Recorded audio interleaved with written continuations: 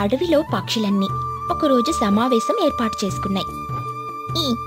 సరిగ్గా నిద్రొచ్చే సమయానికి ఈ సమావేశాలేంటి పొద్దునంతా ఎండ రాత్రి అవుతున్నప్పుడు కూడా పోవడం లేదు. ఇక పడుకుందాం రా అనుకునే సమయానికి మీ సమావేశాలు. ఏ నిద్ర మొహందానా? కొంచెం ఆగు. పెద్దవాళ్ళం ఇక్కడ మాట్లాడుకుంటున్నాం కదా. మధ్యలో నువ్వేంటి? ఈ, సరే నేను చిన్నదాన్ని. మాట్లాడటం రాని దాన్ని. అలాంటప్పుడు మీరు మీరు మాట్లాడుకోకుండా నా నిద్రని పాటు చేస్తూ నన్నెందుకు పిలిచినట్టు? అబ్బా బుజ్జి నీ అవసరం మాకేం లేదు. నువ్వు పో. పోయి పడుకుంటావో ఆడుకుంటావో నీ ఇష్టం. కానీ ఇక్కడ మాత్రం కనిపించుకు. ఈ, అది నాకు కూడా కావాల్సింది.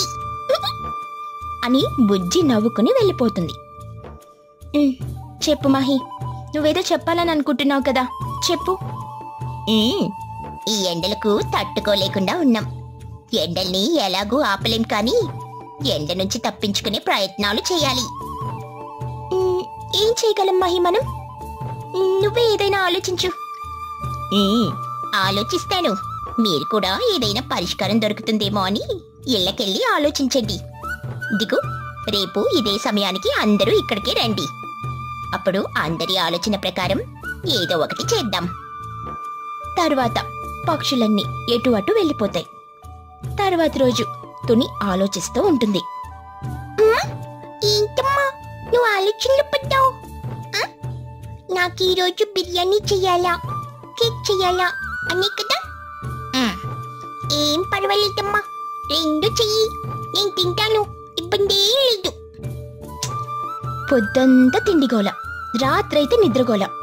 ఈ రెండు తప్ప వేరే పని తెలియదనే నీకు?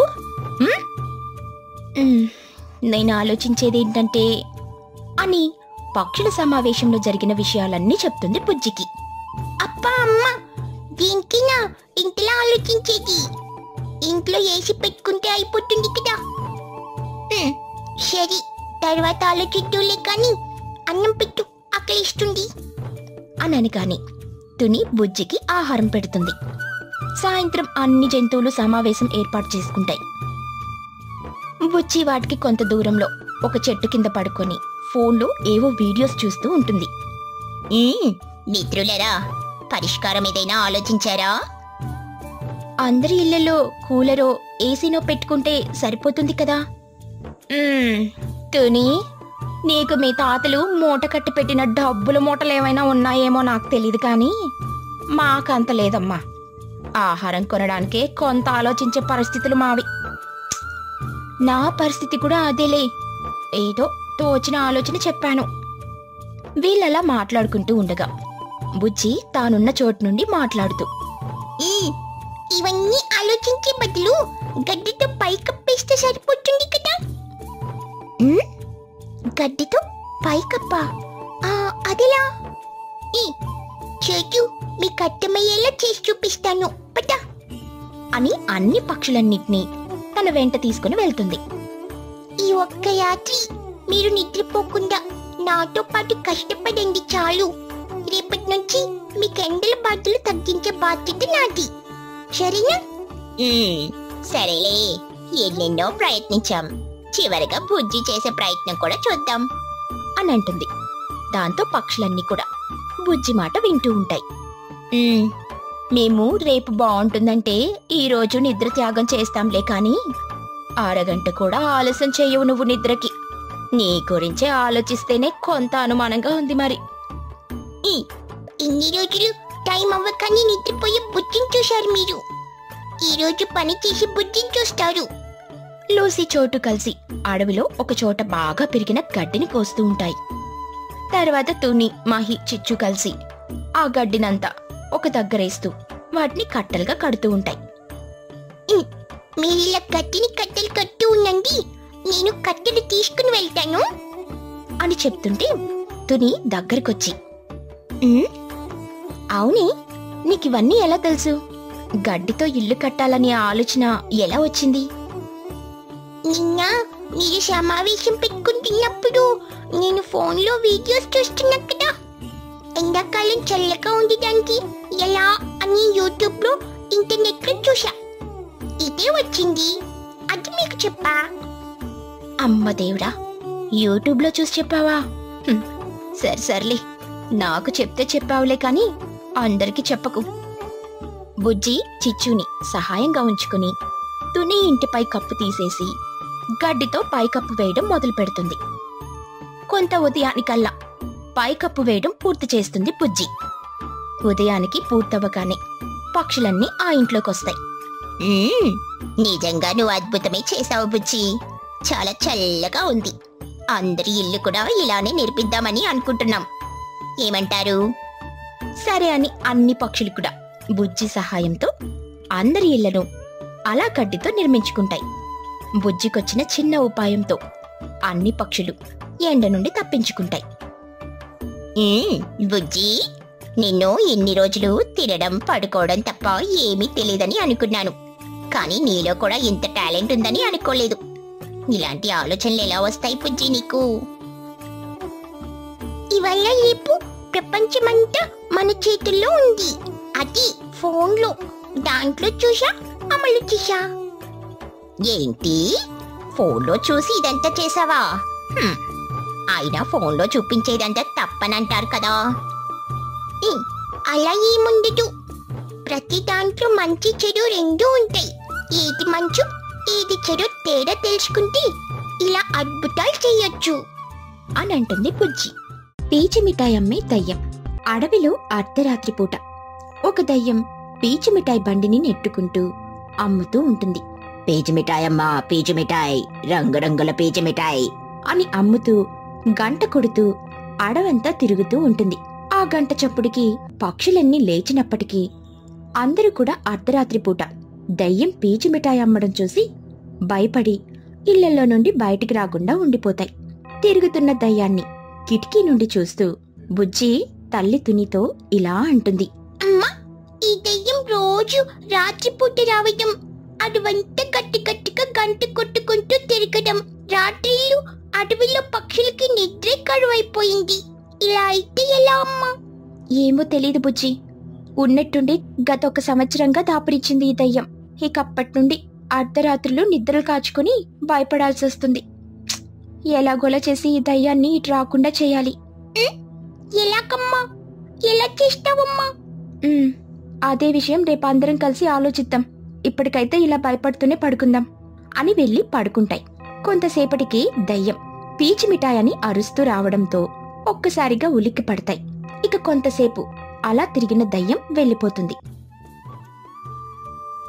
తెల్లారు ఉదయాన్నే తుని చోటు ఇంటికి వెళ్తుంది. చోటు ఇల్లు తలుపు పెట్టుండడం చూసి తలుపు కొడుతూనే ఉంటుంది తుని. కొంతసేపటికి చోటు తలుపు తీసి బయటకొచ్చి తునిని చూసి రాత్రంతా ఆ దెయ్యం నిద్ర లేకుండా చేస్తుంది.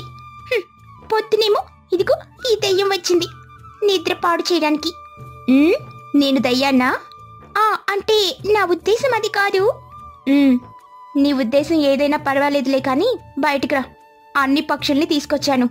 పక్షులన్నీ దయ్యాన్ని ఏదో ఒకటి చేయాలని చాలా కసిగా ఉన్నాయి. మనం ఆ దయ్యం సంగతి ఏంటో తేల్చేద్దాం ఈరోజు.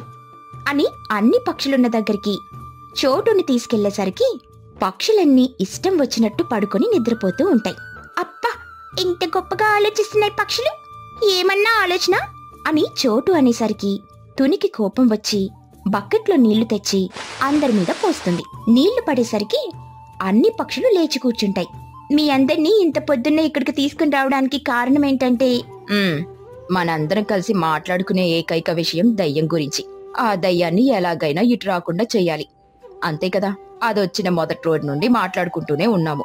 ఎవరో ఒకరు పోయి దయ్యానికి ఎదురుగా నిల్చొని మాట్లాడాలి అని అంటారు.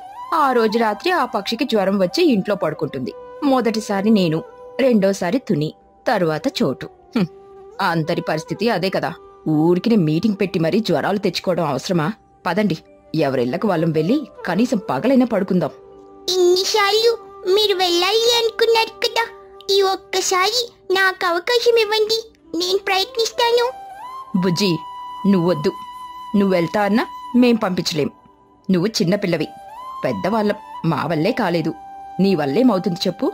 పొరపాటున నీకేమైనా అయితే అమ్మో నిన్ను పంపించినందుకు మేము మా జీవితాంతం బాధపడాల్సి వస్తుంది. అలాంటిది ఏమీ జరగకుండా నేను చూసుకుంటా. నన్ను నమ్మండి. నేను చెప్పింది చెయ్యండి. అని అంటుంది బుజ్జి. ఇక బుజ్జి మీద నమ్మకంతో పక్షులు బుజ్జి చెప్పినట్టుగా చేస్తుంటాయి. రోడ్డుకి అడ్డంగా కనిపించకుండా ఉన్న తీగలు కట్టడం వాటికి కరెంటు కనెక్షన్ ఇవ్వడం పైన ఒక పెద్ద వల ఏర్పాటు చేస్తాయి. బుజ్జి ఇవన్నీ ఏర్పాట్లెందుకో? నాకైతే అర్థం కావడం లేదు. మీ కళ్ళకు కట్టినట్టు చెప్తా. మీరు వీడియో ఊహించుకోండి. దెయ్యం రోజులా కానీ అలవాటు ప్రకారం పీచు మిఠాయి అమ్మే బండిని తోసుకుంటూ వస్తూ ఉంటుంది. అప్పుడు ఆ ఏరియా దగ్గరికి రాగానే నేను సైక చేస్తాను. అప్పుడు తీగలకి కరెంట్ వచ్చే కనెక్షన్ ఆన్ చేయండి. అప్పుడు ఆ తీగకు తాకగానే దయ్యంకి షాక్ కొట్టి ఎగిరి నేరుగా మనం ఏర్పాటు చేసిన వలలో పడుతుంది. అప్పుడు మనం దానిని బంధించవచ్చు అని అంటుంది. ప్లాన్ బాగానే ఉంది కానీ నాకెందుకు తేడాగా అనిపిస్తుంది. సర్లే చూద్దాం. ఎవరిళ్ళకు వాళ్ళెళ్ళి పనులు చేసుకోండి. ఆ సంగతేంటో రాత్రికి చూద్దాం అని పంపించేస్తుంది తుని. ఇక రాత్రయ్యాక బుజ్జి మొదటి వైట్ దగ్గర కూర్చొని దయ్యం రాక కోసం ఎదురు చూస్తూ ఉంటుంది.